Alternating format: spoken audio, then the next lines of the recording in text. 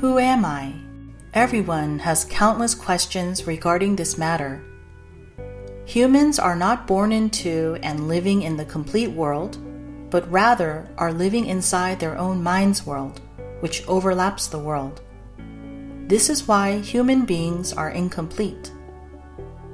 In order to change these incomplete, fake beings to complete beings, the world of incompletion must be demolished and they must be resurrected in the real world. This is how they can become real people and live in the eternal heaven and paradise where there is no death. A person who is born here is the master of the true world and a king. Just like Jesus, who was resurrected and came out of the stone tomb three days after his death, the one who is resurrected and has raptured is the master. When one has the true world inside one's mind, that person is the master of heaven man, and earth. Hi, I'm Sherry. Thank you for being so open minded. You may have asked yourself at some point in your life this age old question Who am I? I'll give you a little bit of background about myself and then I'll explain to you how it was that I was able to solve this age old riddle. I live every day now with confidence and gratitude. Since my worries and stresses are gone, my acid reflux naturally disappeared. But most importantly, I was able to realize who I am and why I live. I'll let you know how you too can find what it is that you've been searching for. When I was five years old, I asked my mother, Where did I come from? My mother paused for a moment and then carefully said to me, That's something you'll get to learn about when you're older. She must have thought I was asking about the birds and the bees, but that's not what I was referring to at all. I wasn't asking about how this physical body was made. What I wanted to know was, where did I come from before I was born to my parents? Who am I? Why do I exist? And what will happen to me when I die? At that young age, that thought of death really scared me. Another major source of my anxieties was from the fact that my mother and father were constantly fighting. There were so many countless nights that I would wake up in the middle of the night to hear them fighting, screaming, shouting. And this constant state of stress that I was in led me to have acid reflux at a very young age. By the time I was in third grade, I was suffering from insomnia. And school proved to be very difficult for me because I couldn't concentrate. These difficulties followed me into my adult life. Later on, when I moved out on my own at the age of 22, I briefly thought I felt some freedom. But that sense of freedom was very short lived because soon after, the constant thinking, worries, stress, the anxieties, they all came flooding back. And so while I was living my daily life, going through the motions, going to my nine to five corporate job, and then playing on the weekends with my friends, I never stopped searching for the place where I could find the answers to life and existence. I was always looking for that needle in the haystack. And so I did all kinds of things. I read all kinds of so many books. I studied about handwriting analysis and dream analysis and palm reading and astrology, Eastern philosophy, Western philosophy, you name it. All in the name of trying to figure out who I was. I even went to all different kinds of religions. I tried to read the Bible, the Buddhist sutras, but quite honestly, as an ordinary human being, I found those holy scriptures, while they seemed to be saying good things, it was very difficult for me to understand what they were really trying to say.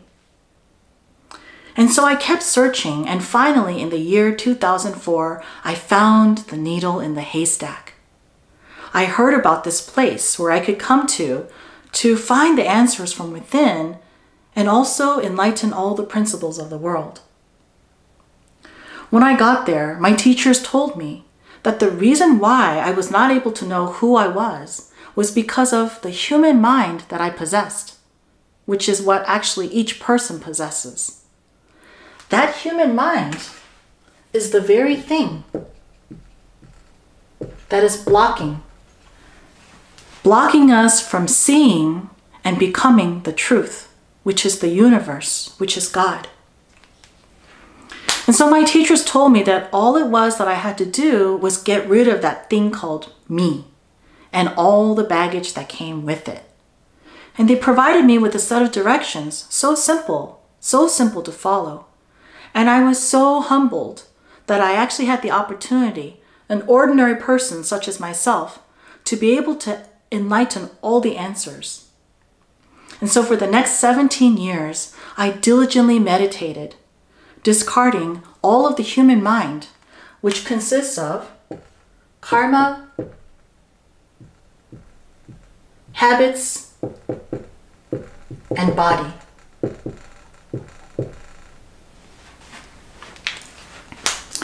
Humans are automatic cameras. From the day that humans are born, through the eyes, nose, ears, mouth, and this body, Humans are constantly taking pictures of everything that is in the world and simultaneously imprinting them into the brain. Like this.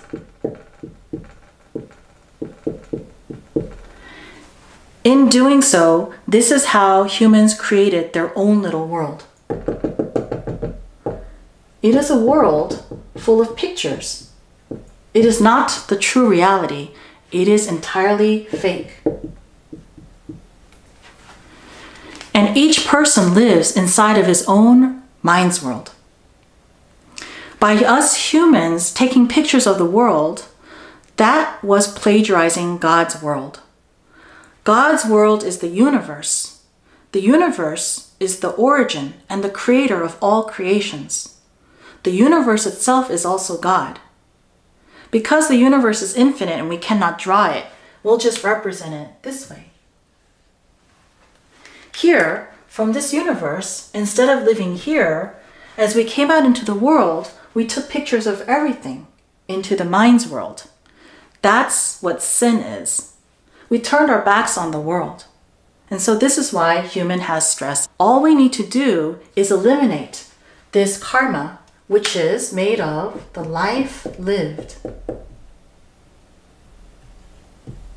And then the habits the habits are the minds that we inherit from our parents and all the ancestors. So just like we inherited our looks from our parents and ancestors, we also inherited the minds. And those minds are what dictate our behavior dictates our behaviors.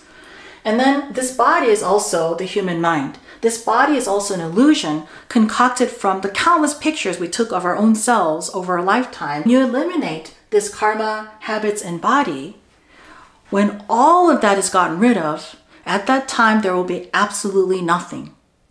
And at that time, you can see God. When you are reborn from here, this universe, then at all times you have God and heaven within you. This is something that you have to do while you are alive. It's not something that you can do after the lights have gone out and your body dies. Humans, their human mind world overlaps the universe like this. And so people mistakenly think that their human mind world is the world itself, but these are actually two entirely different things. There is no God, Buddha, Allah inside of this human mind world.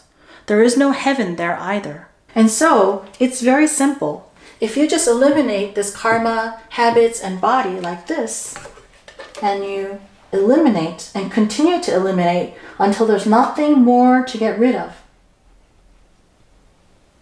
then only the universe, which is God, will remain. So for me, after I diligently got rid of all of my karma, habits, and body, and only the universe was remaining, then I was reborn from that existence. At that time, it was so amazing because all the stress and the weight of the world that I felt, that heavy stone in my chest that I felt like I carried around everywhere I went, whatever I did, it was really, really all gone. And I could finally understand all the principles of the world. The Bible, the Buddha Sutras, the Quran, the Bhagavad Gita, all those holy scriptures made sense. And I finally understood who I am and why I live. I came to the world. We all did. We came to the world in order to live. Same goes for you.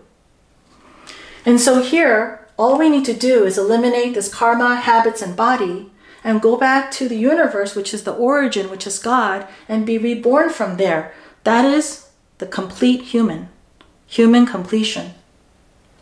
For someone to say that they've been reborn without having gotten rid of this, this is just, that means it's just a recycled version of their old fake self. You have to get rid of this first and then go back to here. And then from here, the universe, which is truth, be born again. And that is the true rebirth. You may be wondering, how long does it take to accomplish this? Let's think of it this way. In the past, maps were on paper. But now that we have GPS technology, it's very easy to get to where we need to go, even if we've never been there before. And in the same way, if religion is like the map, this meditation is like the GPS system. It will take you there quickly, efficiently, very simplified. You can get there in no time. If you throw all these things away, go back to the truth, and reborn from there, you live forever, you never die.